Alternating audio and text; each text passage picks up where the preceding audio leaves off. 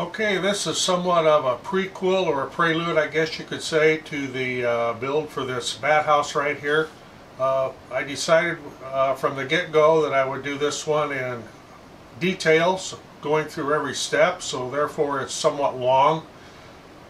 Uh, some people may be more advanced and don't want to see the uh, every step-by-step -step version of it, and for that I'm going to make a uh, shorter version so if you are a, more of an advanced woodworker that would be the one you would want to head for. It'll be somewhere in my videos. I'll try to get it put up in the next day or two. Uh, tool wise for this uh, you pretty much do need a table saw or know somebody that has a table saw. You don't have to have a router table. You don't have to have a miter saw. You don't have to have you know quite a few pneumatic tools. Uh, a lot of these things you don't have to have. I use them just because I already have them and it makes uh, the project quite a bit easier and that I'm building more than one of these. Uh, but that's just a little bit of a prelude to this and uh, we'll get on to the video. Hi, I'm Roger and today's project is going to be a bat house. In fact, it's going to be four bat houses. Our daughter asked if we if I could make her a bat house and then a friend of theirs wanted a bat house and then one other person wanted a bat house and well I kind of like to have one too. So did some research on them we, we do have bats around here. They're extremely beneficial uh, clear up a few myths uh, that are commonly thought up as uh, bats are attack you. Well they won't unless you grab one and provoke it it may bite you. If you leave them alone they'll leave you alone. They pretty much try to avoid humans vampire bats. There are no vampire bats in the United States. That's uh, southern Mexico, Central America, and South America thing. And even there, they prefer to feed on uh, rats and cows and pigs. And they, I guess they don't like the taste of human bloods from what I've read. Another thing I was asked about is, well, you know, the, the bats eat insects, and that's one of the reasons that they're honey beneficial. I'm not real fond of mosquitoes. I don't know anybody that is. Uh, they eat a lot of mosquitoes, they eat a lot of cucumber beetles, which uh, the larva is also known as corn rootworms. Uh, the moths that fly at night that lay eggs for your uh, sweet corn, you get worms in the ears. They eat those moths. Uh, cabbage moths, they eat those. Uh, and my biggest pet peeve is brown stink bug. We've got loads of them around here and they seem to get everywhere in the fall. And they will help to keep those populations down we have a uh, bird, butterfly, honeybee conservation area, I guess you would call it, behind our property. It's probably 10 to 15 acres in size. It's landlocked. The people that take care of it have all natural uh, prairie grasses and prairie flowers that are native to the Midwest and Illinois back there. Uh, it's going to be good bee forage for my hives and it's excellent uh, habitat for the bats as well. Another thing that comes up, uh, and I've already been asked, well, won't the bats eat your bees? Well, no. Uh, when the bats come out, it's usually dusk or almost dark. And by that time, all the bees are snug in their hive and uh, asleep for the night or busy inside. They're not going to be outside flying around in the dark. By the same token, bats don't fly around in the daytime. If you do see one flying around in the daytime, it may be sick or diseased. Uh, Oh, then the other thing comes up is about rabies. You know, well, bats have rabies. Well, there's a very small chance that one could have rabies or be rabbit or carry rabies. Uh, the biggest rabbit rabies carrier around this area are raccoons. And we have lots of those, and lots of them. In fact, I can't even grow sweet corn here because of them. Uh, in spite of an electric fence around it, they seem to still find a way through, and they know to get in there just the day before it's ready to pick. Anyway, getting back to the bee houses. Uh, did a lot of research, and I will put links to everything in the description below. One of the things you can download is the Bat House Builder's Handbook. And I printed this out and put a comb binding on it so I could use it out here in the shop. It's got a lot of reference material in there too about where to paint your, or where to place your bat house, what color to paint it depending on where you are in the country. And yes, it does make a big difference. Uh, Bats like it hot, but they don't want it too hot. So good thing to download and good thing to read. Uh, one of the, the one I'm going to be making here, actually I'm going to be making four of them, is the four chamber nursery house. And like I said, I'll have links for all this in the description below where you can go and download this stuff. Um, of course, it's wintertime right now. I'm not definitely not going to be attracting any bats. I won't put these up till spring. Uh, one of them is going to be a Christmas gift. Yeah, I'm getting a little hard pressed here to get things ready for Christmas, but that's what we're going to do. I've been real busy in here building everything from uh, coasters like this to uh, boards and bo shadow boxes and just all kinds of things. So, been busy. At any rate, as I was saying, uh, not going to get anything here in the wintertime. A little bit of fact about bats is that they mate in the fall and the female will carry the sperm until spring and then fertilize the egg in uh, very very early spring then they, she will carry that and give live birth to one pup. Yeah, baby bats are called pups. Uh, another thing that I found interesting in doing my research is that uh, since they generally mate just before hibernation, it's also possible for the males to mate with the females even though the females are in hibernation. Yeah, I see a bunch of you guys out there right now going, huh, huh. Okay, I'm going to leave it at that. You can draw your own conclusions. At any rate, uh, one of the first things I need to do here is cut my materials down. Uh, the way these plans are drawn up, a half sheet of half inch plywood and a half sheet of 3 8 plywood will build two four chamber nursery bat houses. And you will also need two lengths of 1 by 6, 8 foot long. Uh, you can use cedar. I'm going to be using pine since it's going to be painted. Uh, when you're choosing your plywood, absolutely do not use treated plywood. That, that's no good at all. You need to have an exterior plywood. A grade of CDX is fine, uh, but if you are going to use the CDX, try to find 5 ply instead of 3 ply. This goes for the 3 8 as well. If you can find 5 ply, it'll hold up much better, be less apt to warp. It'll be easier to glue and to fasten. Uh, the plywood that I chose for these yeah, and I actually went out and bought some lumber for this. Usually I'm looking for scraps and free stuff, but had to buy the wood for this one. I bought ACX plywood. Um, I mean, it's A grade on one side, it's clear, no knots, it's going to look nice on the ins on the outside. Uh, the C grade on the uh, inside is a little rough, there's some knots, but the bats don't mind. And it's 5 ply, and it's exterior glue, that's what the X stands for, very important. Uh, I'm also going to be using glue on these and I'm using Titebond 3 which is a waterproof glue even though it'll be painted. And I you don't have to glue this but I intend to. And I'll be using uh, hardware will be uh, galvanized. One of the things that the uh, bats need is a way to climb up into their nest or into their house and one way to do it is to cut a bunch of very small slots in the wood so they'll have something for their feet to grab onto to crawl up inside the brood box.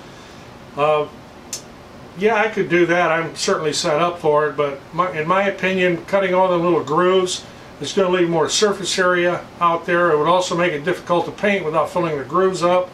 Another option is to use this, uh, it's actually plastic gutter guard, and you get a uh, 6 inch by 20 foot roll for two bucks. And I'll be putting this material, I'll get this opened up here a little bit, see what it looks like. It's just a, a plastic mesh, it's ultraviolet stabilized. Um, I've used it on gutters before, and it holds up for years and years and years.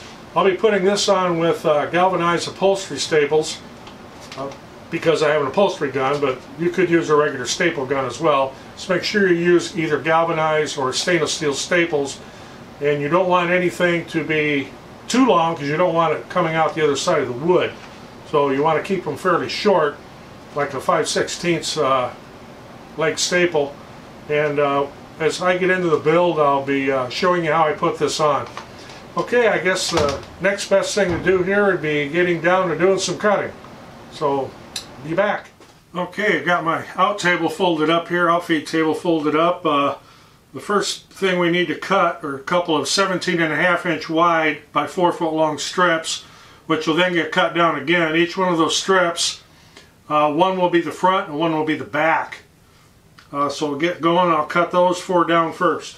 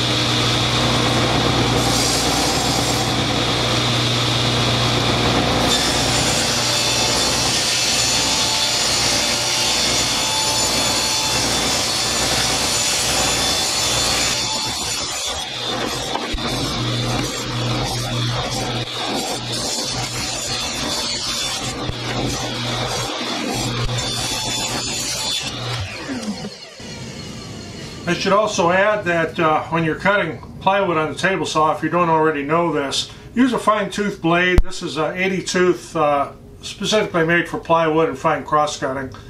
Uh, also thin kerf. I don't need to run a full kerf blade here. The way they have these laid out on the uh, layout sheet on the plans, they didn't really allow for the saw kerf. So uh, these pieces will be fine, but as we cut the next dimension, which is one needs to be 31 and one needs to be 17. Well, 31 plus 17 is 48, but you've got a uh, 3 second saw kerf in there too you got to think about. So anyway, um, I'll be getting repositioned here and cutting the rest of these down and we'll be back. Okay, I wasn't going to shoot video of me cutting every one of these parts, but I thought I should uh, bring this up.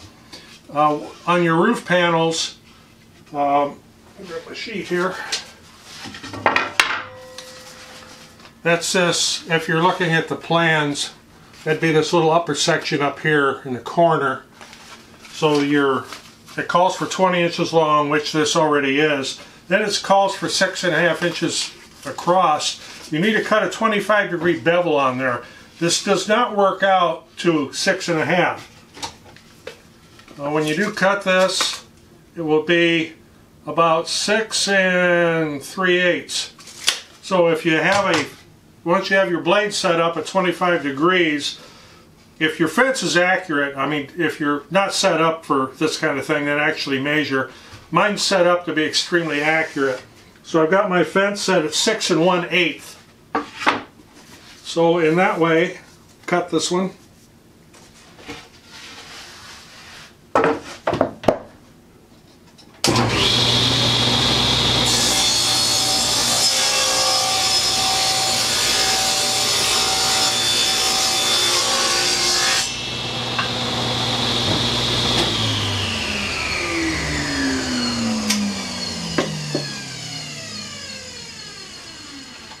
Okay, that allows for the saw kerf.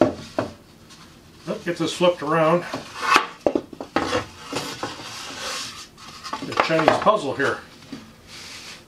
So now you'll end up with two equal pieces, just like that. You have a 25 degree bevel on one side.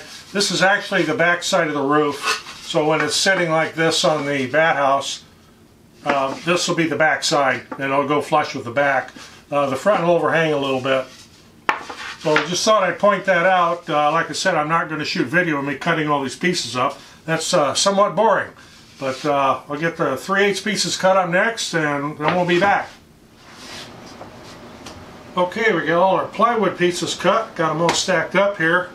Uh, the next thing we need to do is cut down the 1x6s.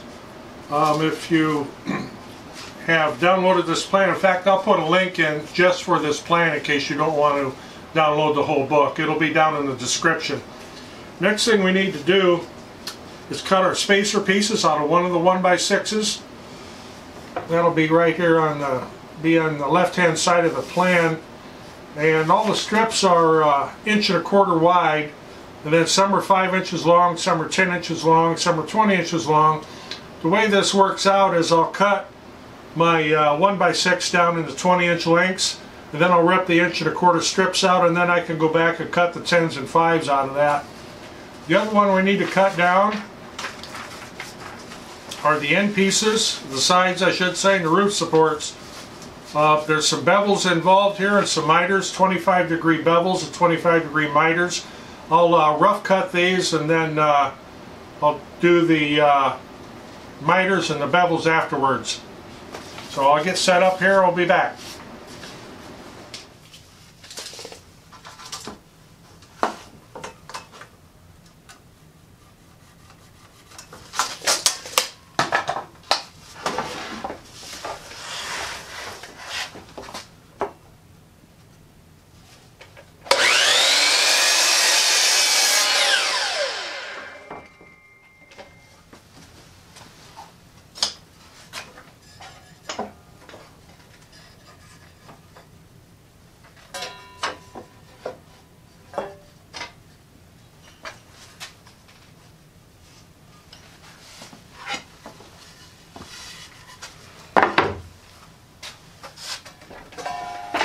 Thought I could use my stop, but it doesn't work out right.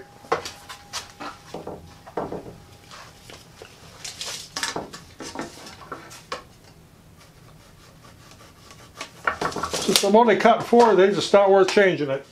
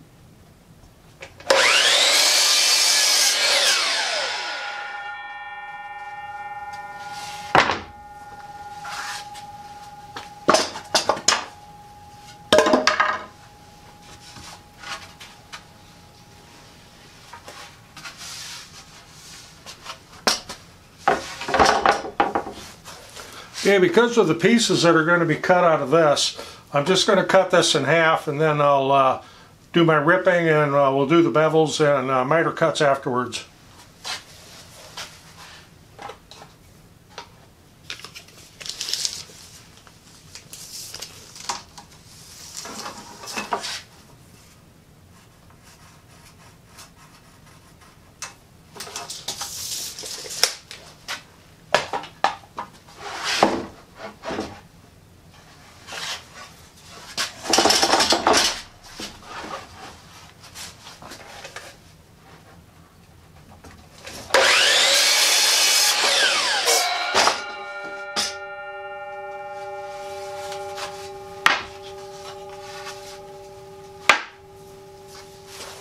Okay, get set up on the table saw and we'll be back. Okay, you might have remembered here at the beginning of the video I was talking about one of the things that bats eat were stink bugs. And uh, here, here it is in the middle of December and I just switched over, put a rip blade in here and what do I find laying on one of my boards? Yep, there he goes, a damn stink bug. So hopefully we'll get some bats to move into this thing this summer and uh, try to cut down the population of these things. Okay, the next step. On these 20 inch lengths of 1 by 6 and this one's got a little bit of wane on it, of course that'll be on the waste side. Uh, I kind of grade them as I go through. need to rip each one of these four into an inch and a quarter wide strip. Uh, it's 20 inches long and then when uh, we're done with this I go back on the uh, DeWalt saw or I can do it on here, crosscut too, to cut the 10 inch and 5 inch pieces. This is I think is the quickest way to do it. So we'll get ripping here. Uh, I've got my MicroJig set up, proper spacing.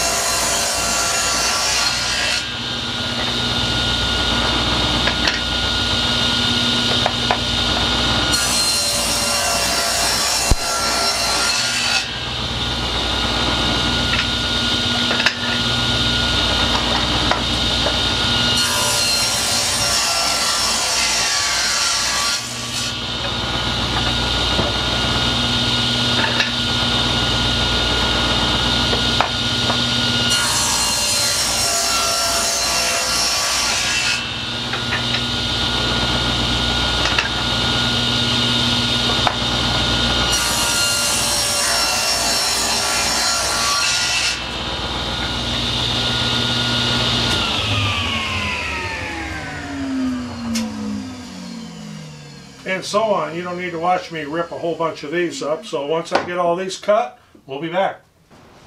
Okay, next I'll be taking the four foot pieces we cut earlier and I'll be ripping these down to four and one eighth wide and from there we cut the uh, miters for the end pieces. So we'll get those cut.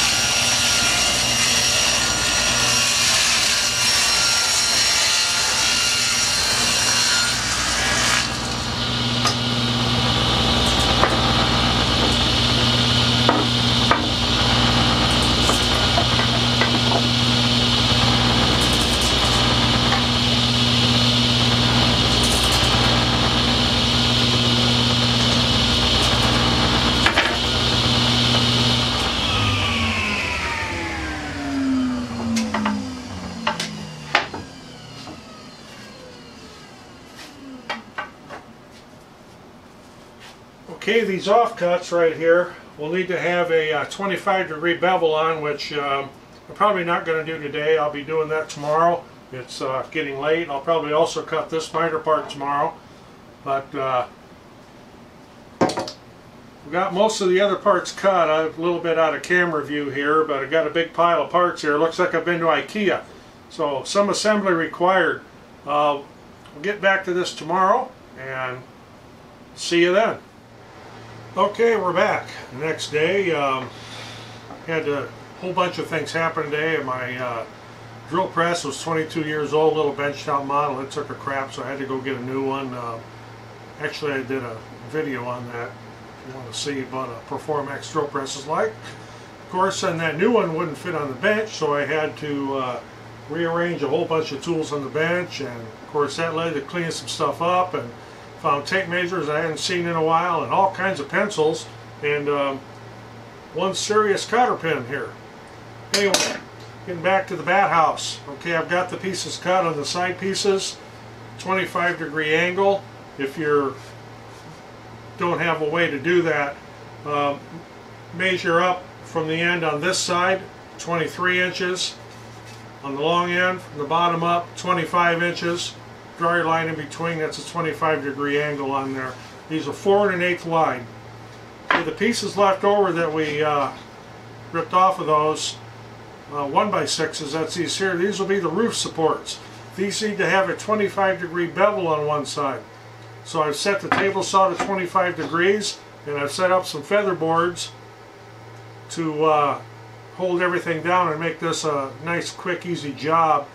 Um, once you get your blade tilted to 25 degrees, you want to set your fence at three quarters of an inch. So it'll be three quarters of an inch from the fence to the where the blade comes out the insert. Let me get the camera re-aimed and we'll cut some bevels.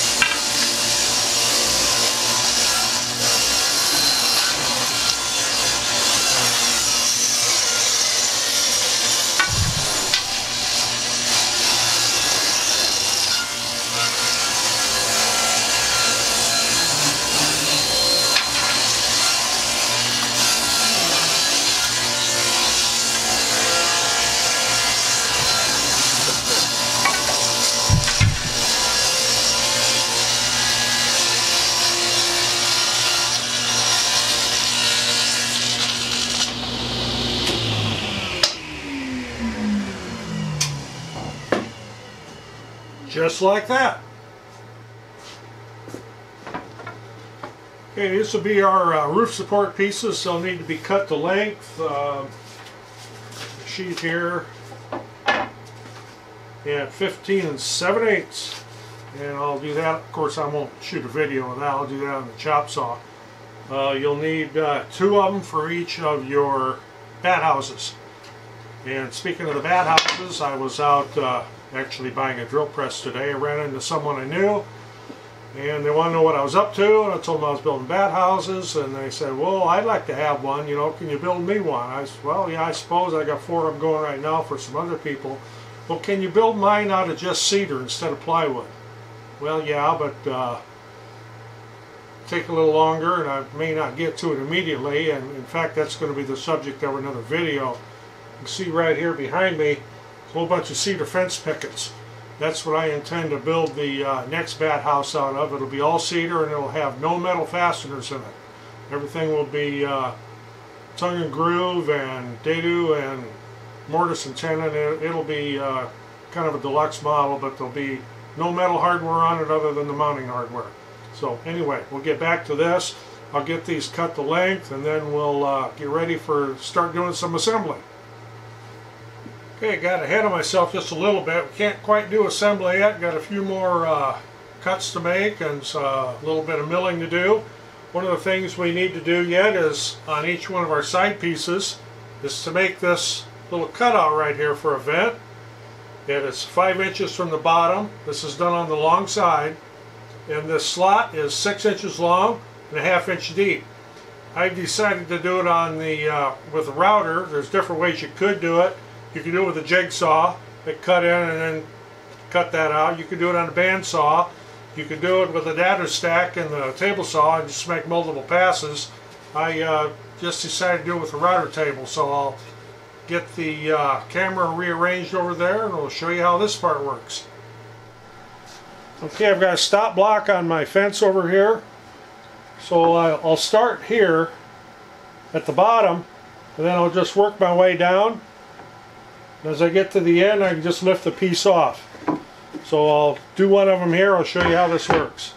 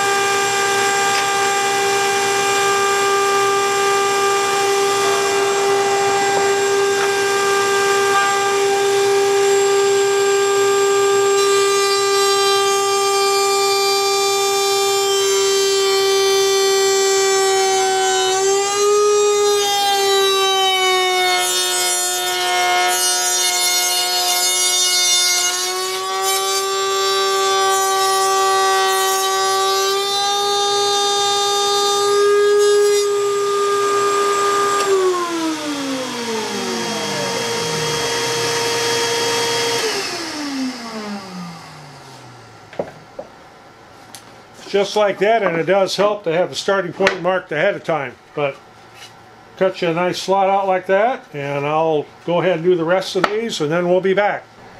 Okay this next step is completely optional. You don't need to do this. Uh, what I like to do is to round over my edges a little bit where it's going to be on the outside. And I've also done it here on the vent opening. What I've done take these as you would face them. The tall end of course is the back the short part will be the front. I marked one left, one right. Then I marked outside and outside. That way you keep straight which side's which. You don't want to route the inside, round over the inside edges, and you don't want to round over the roof part. But I, you do want to round over the outside edges where everything's going to be exposed. This will keep things from splintering and also uh, keep you from getting slivers while you're putting things together.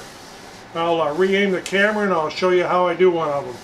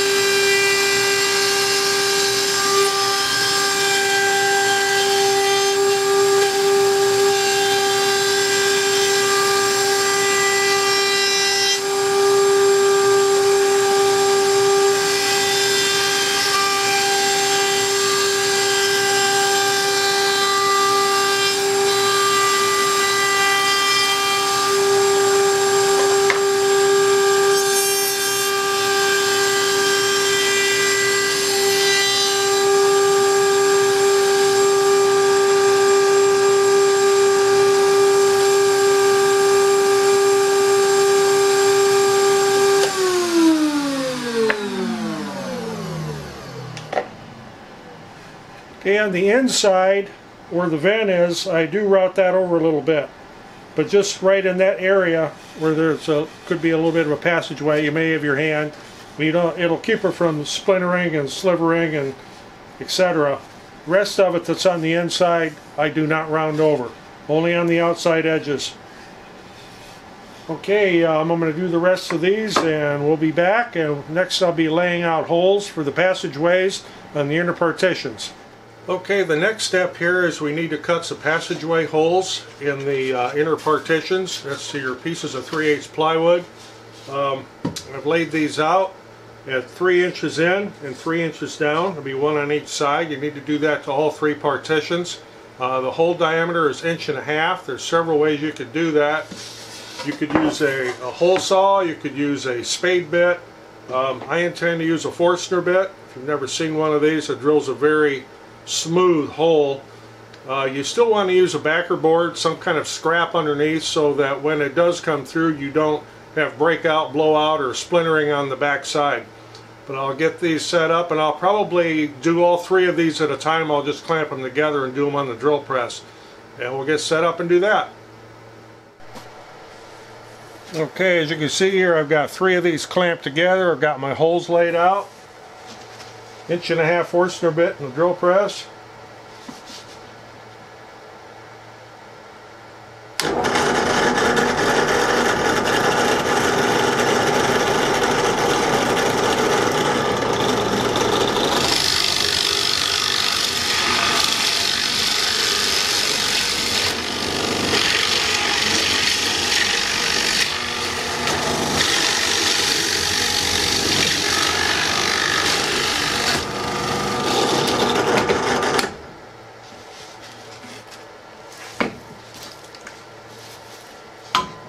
And just like that, we got our passage holes. So I'm going to go ahead and drill the rest of these. I got uh, three more batches of these to do since I'm making four houses in this uh, video. So we'll get that done I'll be back.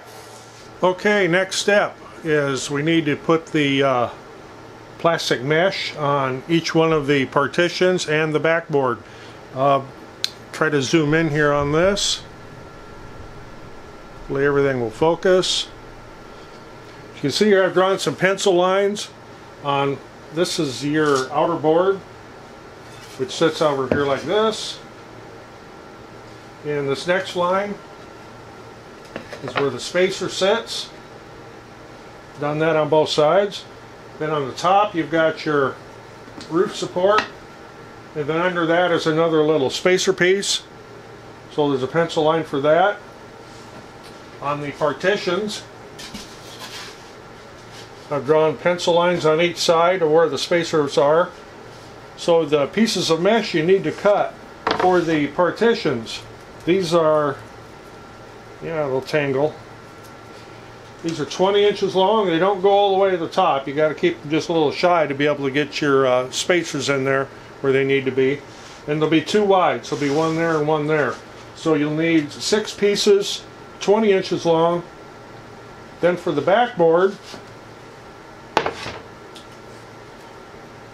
These will be side by side. It'd be nice if it was warmer than 50 degrees in here. But anyway, they'll sit like this, side by side, and they go all the way to the bottom, and then up to your pencil line up here that's below the uh, spacer.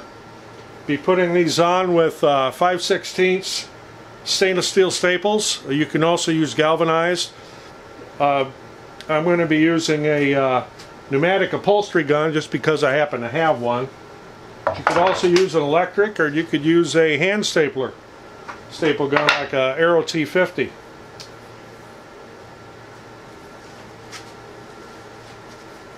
This uh, plastic mesh can be cut with even a pair of dull scissors.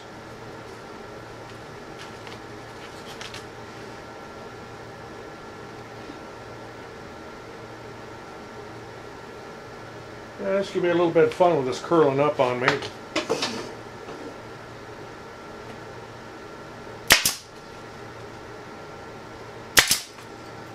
Well, helps if you close the bottom of the staple gun all the way. Put that in my blooper reel.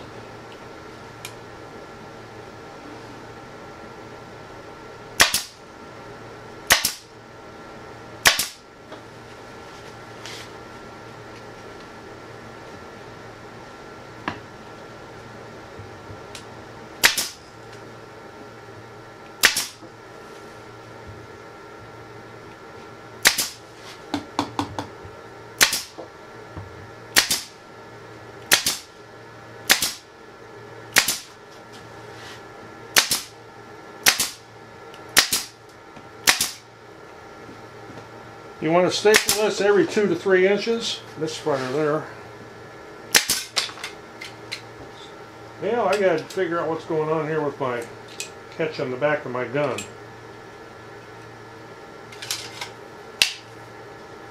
Doesn't seem to be latching like it should.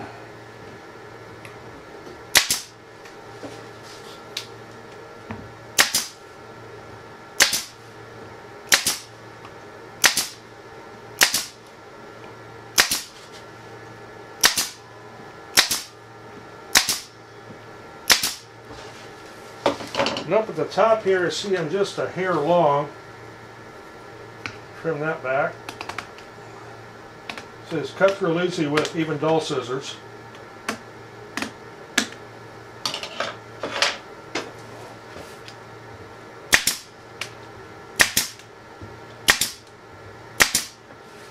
And so on. And then this one here will set right like that.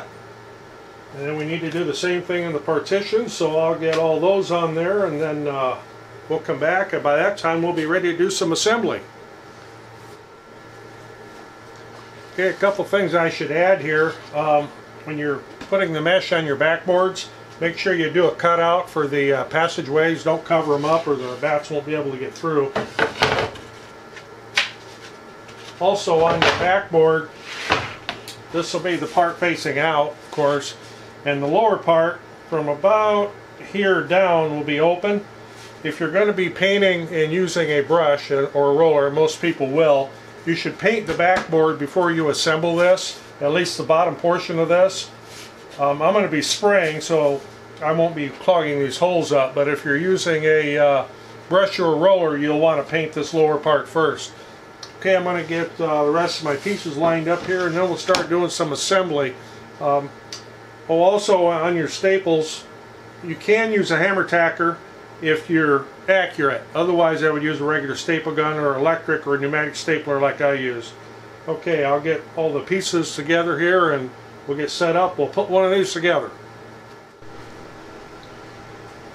Okay, I have this roughly assembled the way it's going to go. Everything is just sitting together here. Nothing's fastened. Just kind of wanted to show a little bit about how this lays out. Um, if you were to look at the plan, some people may be confused by the way it looks. Uh, this, of course, is your roof piece. This is the upper front cover.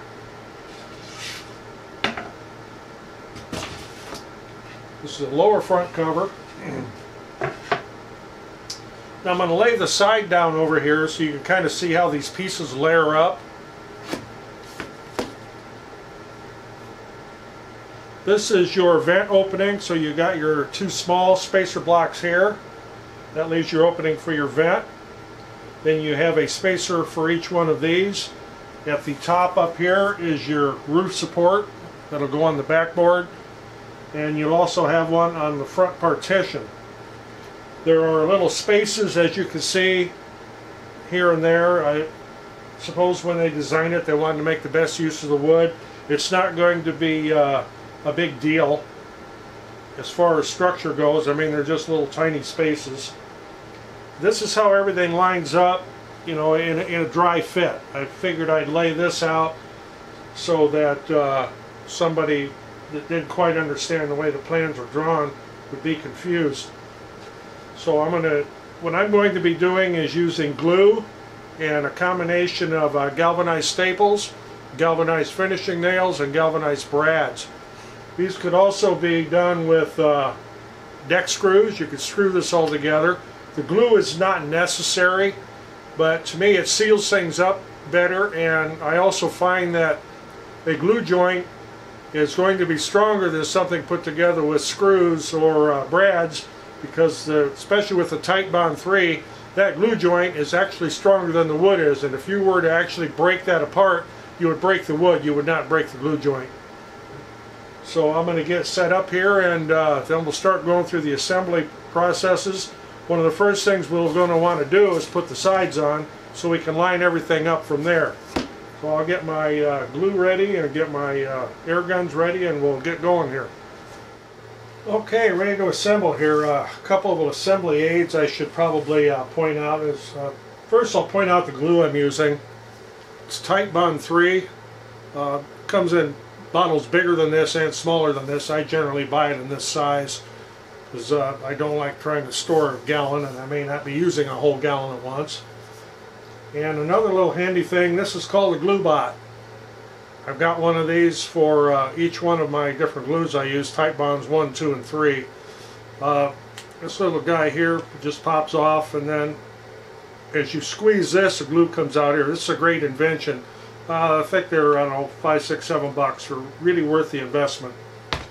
Another thing that's going to be handy to have, there's some clamps if you have them.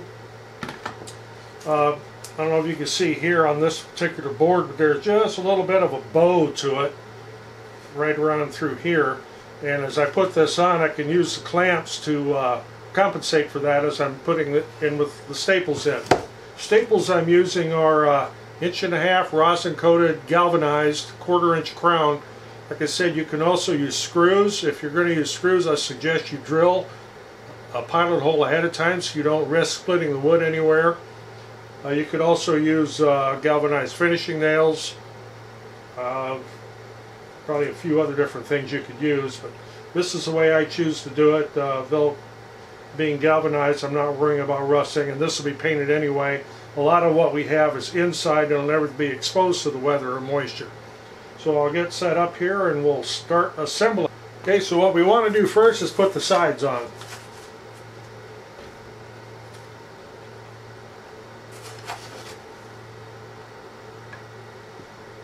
cold in here, shivering. That's why you see me wearing sweatshirts in here. It's only 50 degrees. Oop. We'll spread that out on there. You don't obviously you don't need anything in the vent. Get a good even coat. Squeeze out is good. That means you got a good joint there. I should also add that the uh, little round over we did earlier is very, very subtle. It's, it's uh, probably less than a sixteenth. It's just enough to take that sharp edge off the outside.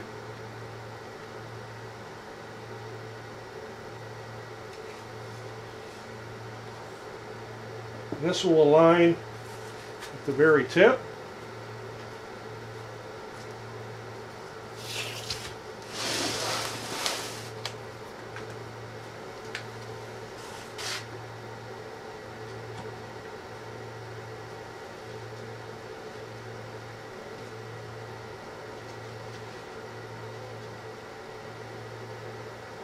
I've also got a line drawn on the inside so I have something to reference to.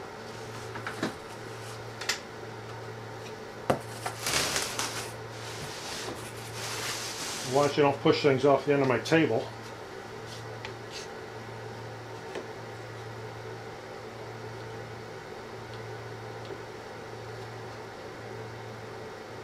This is where we got that little bow to deal with.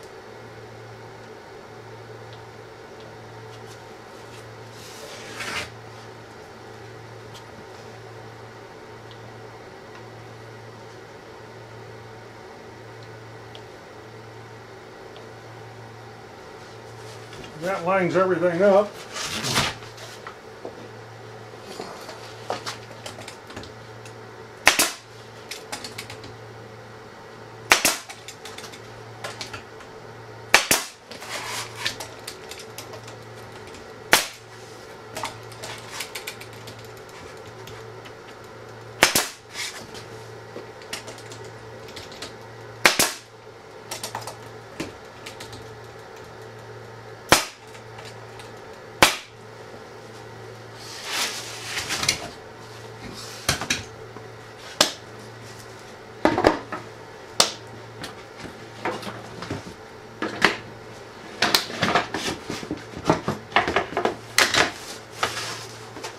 Well, there's our first side.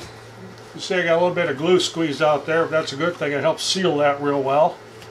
Just wipe that off. And I will get the other side mounted, then we'll come back and start doing the spacers and the partitions. Okay, got the two sides on, so the next step would be the uh, upper roof support. I've switched staples to a one inch staple. If I use an inch and a half, it'll go all the way through. But uh, get this glued on and stapled.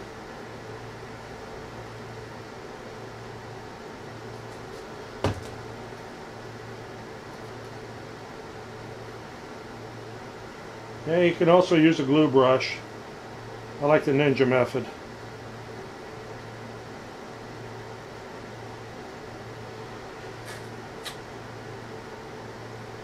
You want the bevel pointing up, of course, and then the longer point to the back. That lined up.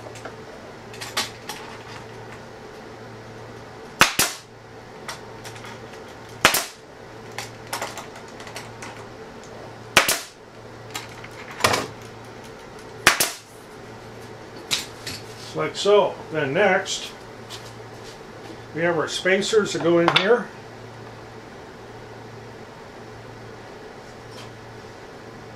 Will go like so. You want to leave the opening here for the vent. We'll get those glued in and stapled down.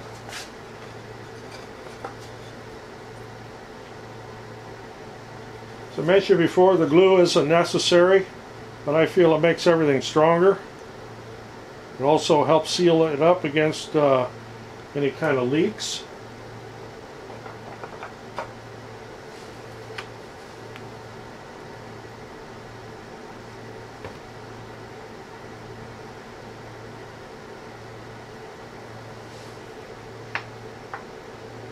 You want to make sure your bottom spacer is above the bottom of the outside board.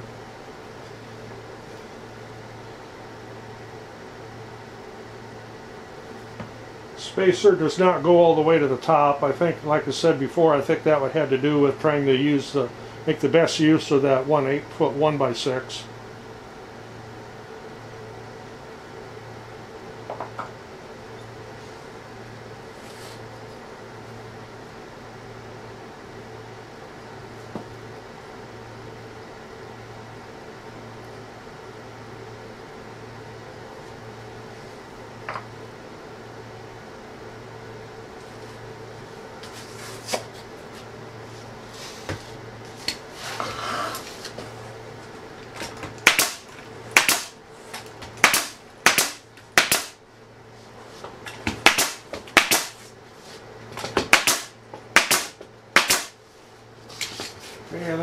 next be a partition.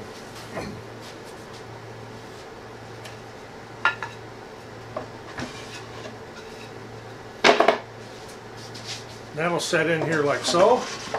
And you want to bring it up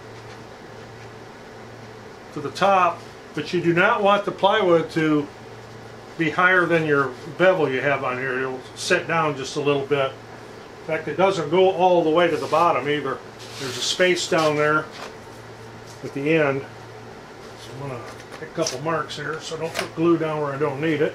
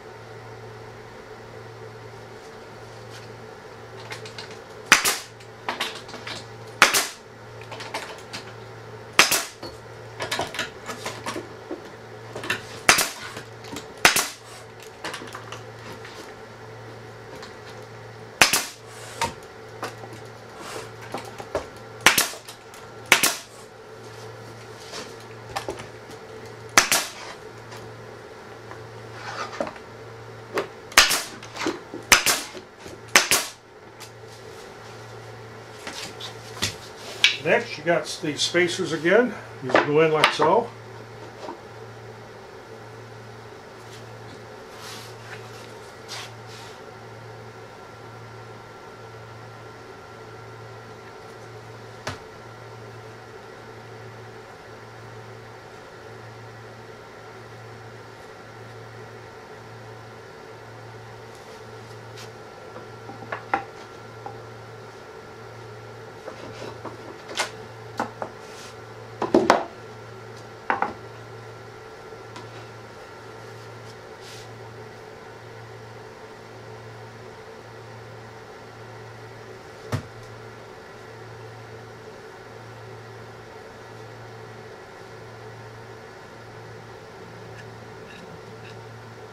You're getting glue everywhere here. And don't let the spacers stick up above the top. It's important. Your roof will never fit right.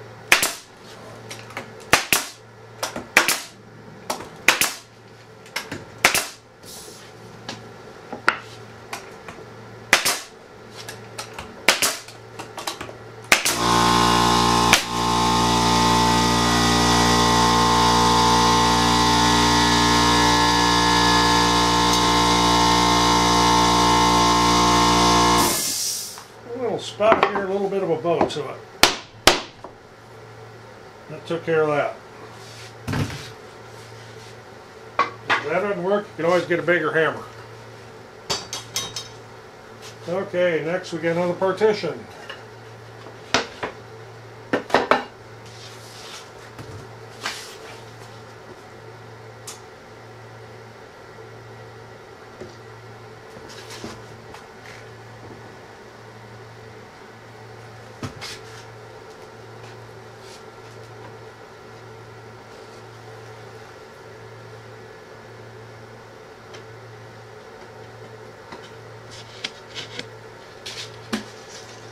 And here again, you want to make sure that it doesn't get up above the uh, bevels you have on there.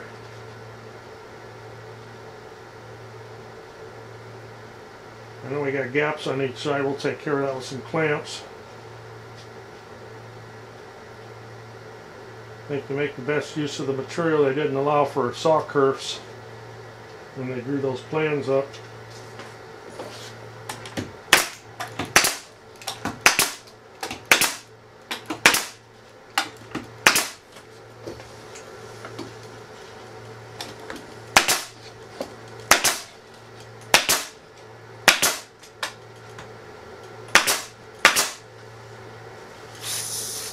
And Out of ammo. Be back in a minute. Okay, more spacers.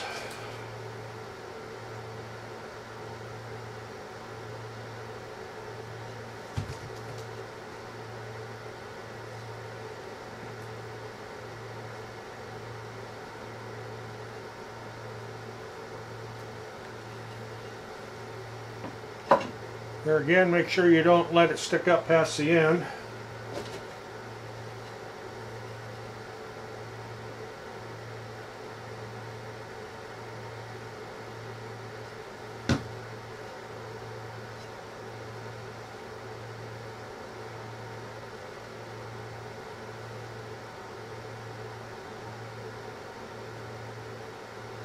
Good- glue coverage there.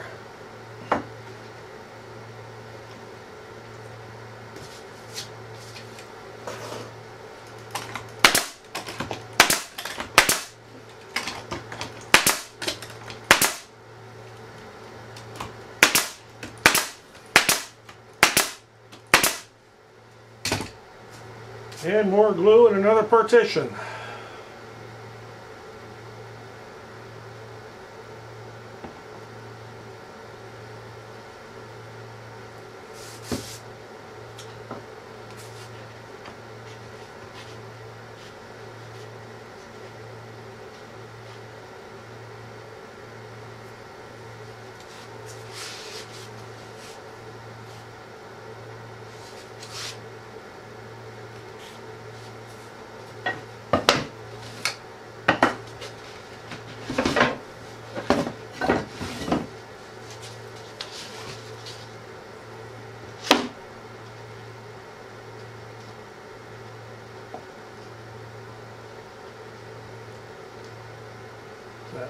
From past the bevel there.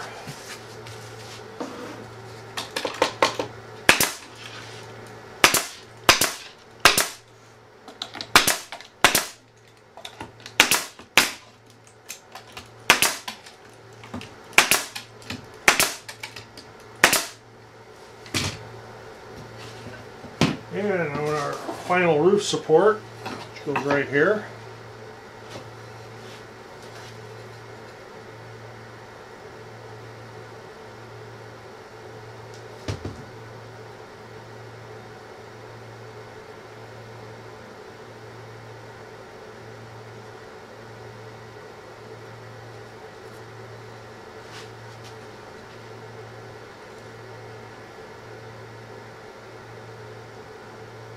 Want that to line up with the bevel here.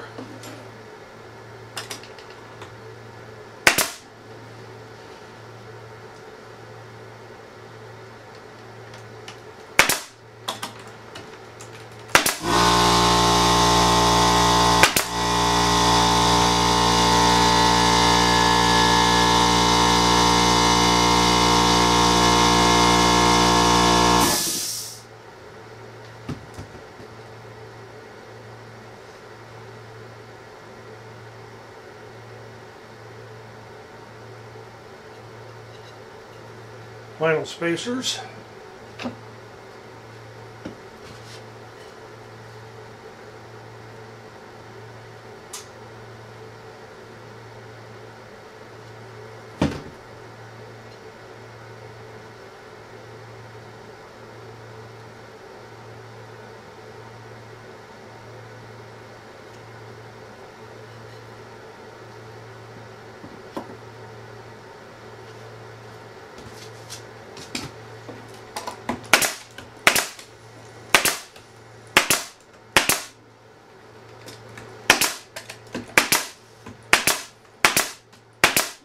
And I see my camera battery is going dead, so I gotta swap batteries. I'll be back, we'll do the front.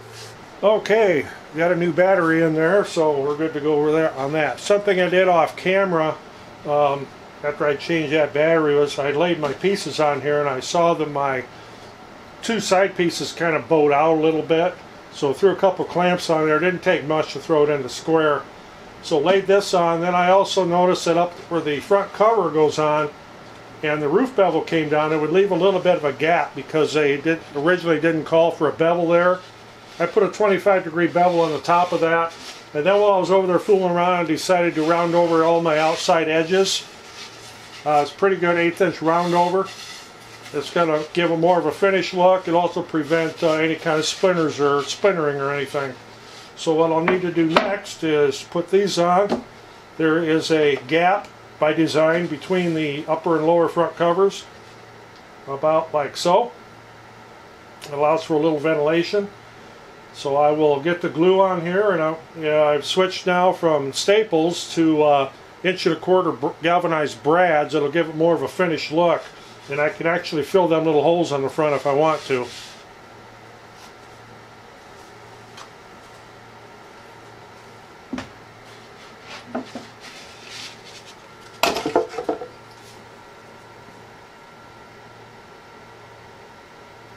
course, I'm using Titebond 3 here again.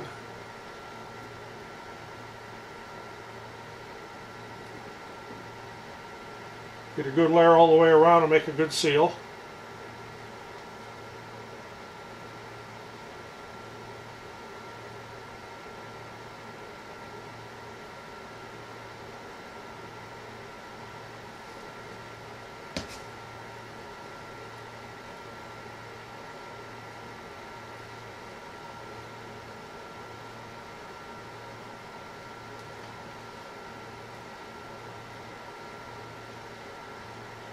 Again, glue isn't completely necessary. I just feel it makes for a better job.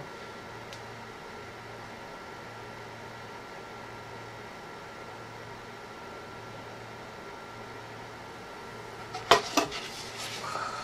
little bit extra there.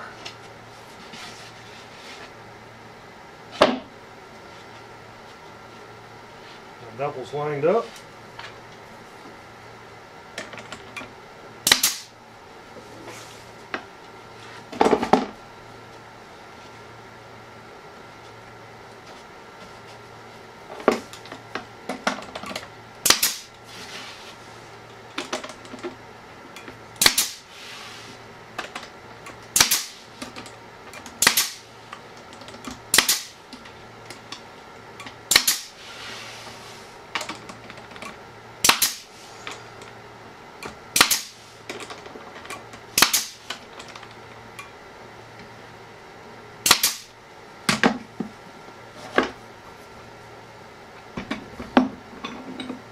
Little bit sticking out up there. This will pull that in.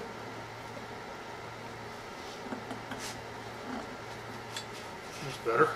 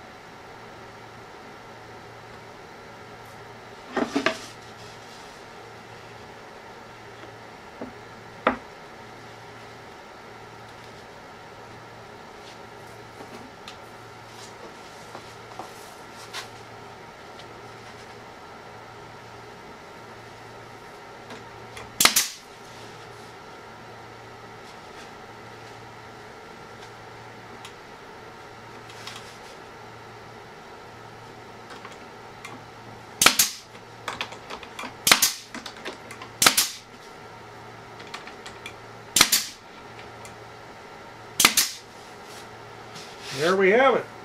All I need to do is let the glue dry.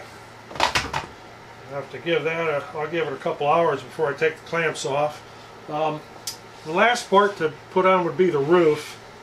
And I haven't decided if I'm going to actually use a shingle here or if I'm going to use EPDM rubber.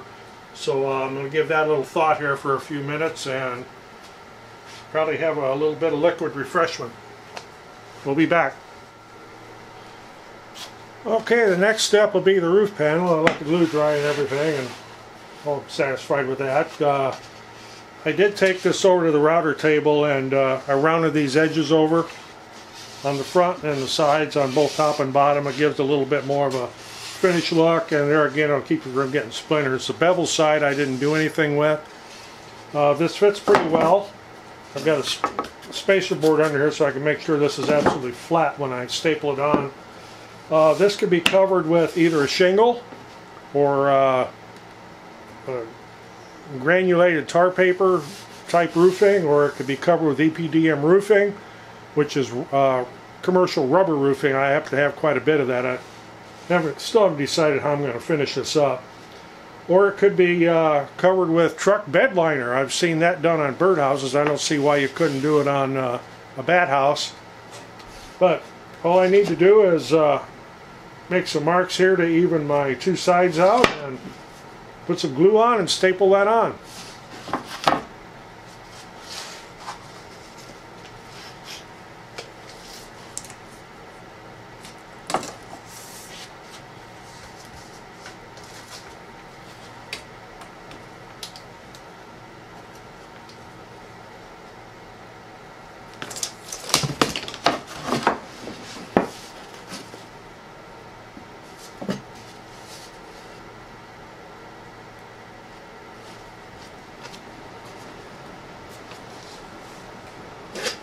About an inch and a quarter on each side overhang.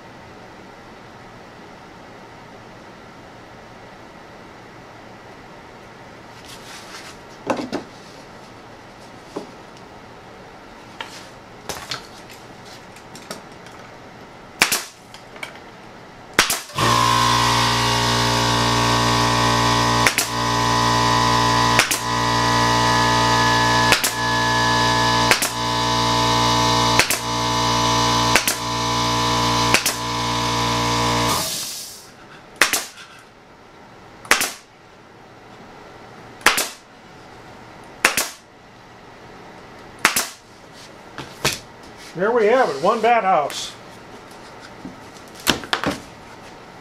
Ah.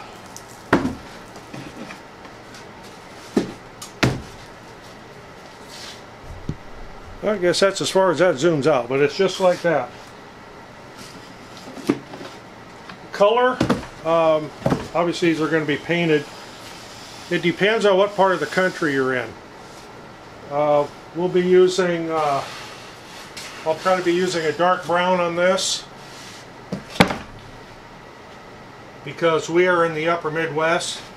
If you are in uh, the north, you'll want to paint it black. If you're in the, like in the southwest, you'll want it a light color. Uh, but got three more of these to put together and then uh, we'll be back.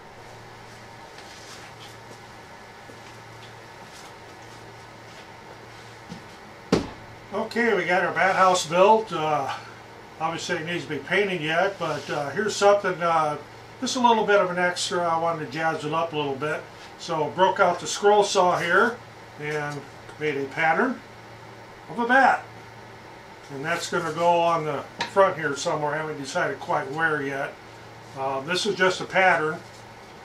And what I've done then is uh, cut one out of some half inch plywood that was actually a scrap left over from uh, the build here. So I'll be making, uh, well, three more of these anyway. But just kind of an idea. I haven't decided if I'm going to put uh, eyeballs on it yet or not. Tell me what you think.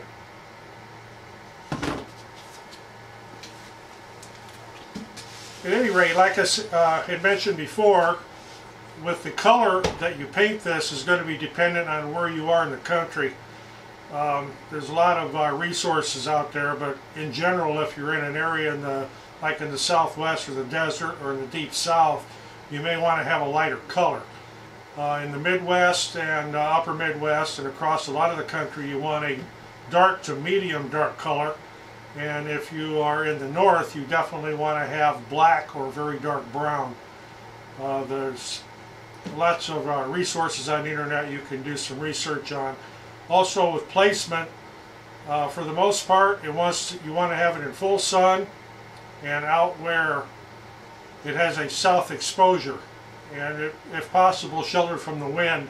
Mounting it on a tree is not a good idea because of predators. If it could be put up on a pole or on the side of a building facing south, that's uh, some of the best places. If you do download that uh, bat building handbook that I mentioned at the beginning of the video, there, there's a link down below. You can find out more information on that. Otherwise, uh, that's it for the build on this one. We thank you for watching. If you like what you saw, please give it a thumbs up. And of course, we're always looking for subscribers, and your comments are welcome. Thanks for watching.